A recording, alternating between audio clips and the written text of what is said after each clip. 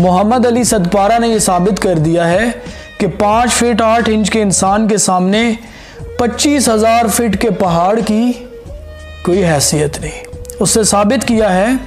कि अल्लाह की बनाई गई इस कायनात में सबसे अजीम तरीन मखलूक सिर्फ इंसान ही है